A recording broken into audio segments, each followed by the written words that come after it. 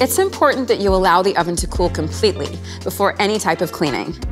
Warning, do not immerse the body, power cord, or power plug in water or any other liquid, as this may cause electrocution.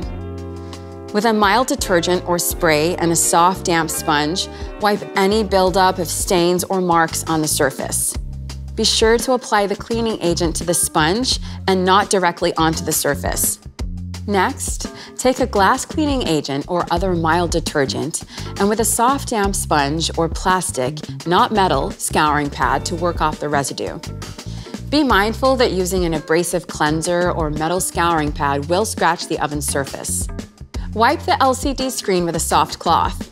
Again, apply the cleaning agent to the cloth and not directly on the LCD screen. Let all of the surfaces dry thoroughly before you plug in and turn on your smart oven.